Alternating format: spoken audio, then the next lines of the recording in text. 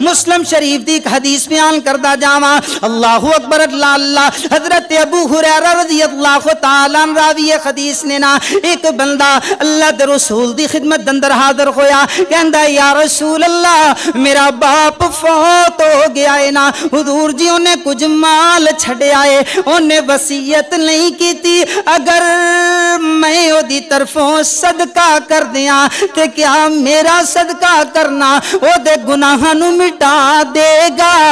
سوالیہ انداز نل سوال کیتا۔ اللہ دے نبی نے فرمایا ہاں ہاں پیاریا، اپنے باپ دی طرف صدقہ کر او دے گناہ مٹ جان گے نا۔ بخاری اور مسلم دی ایک روایت پیش کردہ جاما حضرت عائشہ۔ ایک مرتبہ پھر کہہ دو ذرا۔ رضی اللہ تعالیٰ مومنین مرد مومنین مرد تے مومنات عورتاں دی مومنہ معاشہ رضی اللہ تعالیٰ عنہ۔ اللہ اکبر، ایک ایہو جہا مذہب بھی موجود ہے جیڑا اممہ دا انجین کاری ہے۔ تے اس مذہب اندر ایسے گندے بھی موجود نے، لچ تڑے کہ جڑے اممہ دا نام سن کر کے لانت کہندے نے معاذ اللہ، العیاذ باللہ، نعوذ باللہ من ذالک۔ حضرت عائشہ بیان کر دیا نے نا، ایک بندہ اللہ دے رسول دی خدمت دے اندر حاضر ہویا، کہن لگیا، اے یا اللہ دے رسول، میری ماں اچانک فوت ہو گئی ہے نا انہیں کوئی وسیعت نہیں کی تھی میرا خیال ہے، اگر وہ کوئی وسیعت کر دی، تے یقیناً صدقہ کرنے دا حکم دین دی۔ لہذا میں او دی طرفوں صدقہ کر دیاں۔ اگر صدقہ کر کرا تے کیا انہوں اجر ملے گا؟ اللہ دے نبی نے فرمایا ہاں ماں بنو صدقہ کر، اللہ انہوں اجر عطا فرما دیں گے۔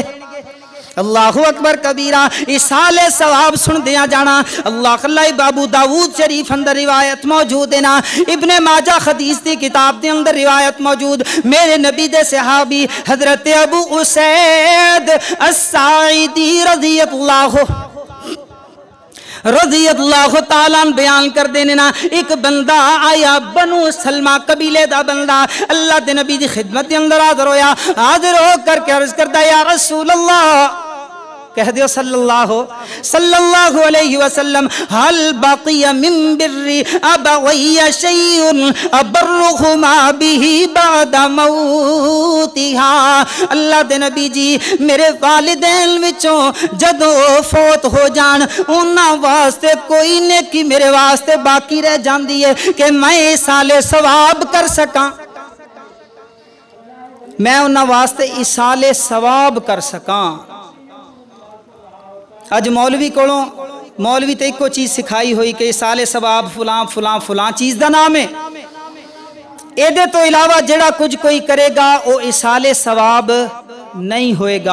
نہیں اسال ثواب چند بندیاں نو محلے چوں نکل کے پوچھو تو انو آپ دسن مولوی بن کے۔ حضرت جی جدو بندہ فوت ہو جاوے اسال ثواب واسطے اینیاں ساریاں بوریاں منگا لینیاں چاہیے نے، اتنے مسلے منگا لینے چاہیے نے، اتنے قرآن کٹھے کر لینے چاہیے نے، پھر اسال ثواب دے طور تے بخش دینے چاہیے نے۔ اسال ثواب اینو کہن دے سانو پتہ ہی اس چیز دا ہے۔ اللہ اکبر کبیرہ، میرے نبی دے صحابی سوال کر دینے حضور اسال ثواب دسو نا۔ اللہ تے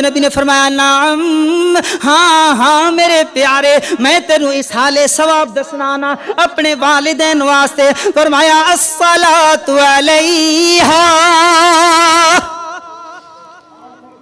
الصلاة تو کی مراد اینا دی نماز جنازہ پڑھ۔ مضمون میں آجونج دا شروع کیتا ہے کہ جڑا سمجھ آئے کہ اینا دی نماز جنازہ پڑھ، تے جے تینو آپ ہی جنازہ نہیں ہوندہ او تینو جنازے دیاں چند دعا نہیں آندیاں۔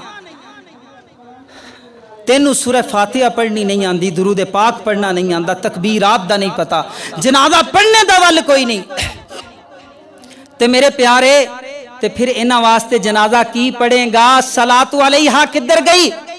جڑا آقا علیہ السلام نے اسال ثواب دا طریقہ دسیا ہوتے طریقہ ران در رہ جائے گا۔ اللہ اکبر کبیرہ، فرمایا، الصلاة علیہا۔ فرمایا انہا دی نماز جنادہ پڑھ۔ والاستغفار لہما۔